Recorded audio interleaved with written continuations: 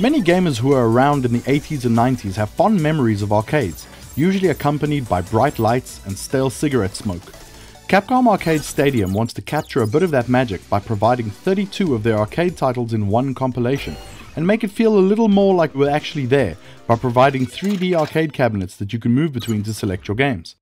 When picking a game, there are a variety of video modes you can use which include playing on the actual cabinet in 3D instead of full screen, rotating the screen, and including scan lines. Coins are thankfully unlimited and you can set difficulty levels per game, but the most welcome features are those that allow for rewinding, saving anywhere, and even setting the game speed faster or slower on the fly. Despite having 32 games to play, many of which have multiplayer, the limitations of Capcom's library quickly becomes evident with only three categories to choose from action, shooter, and fighting. And for the most part, many of them are very similar, or variations and sequels. Of the five games available in the fighting category, for example, four of them are variations of Street Fighter 2, and there are multiple side scrolling beat 'em ups and top view shooters like 1942.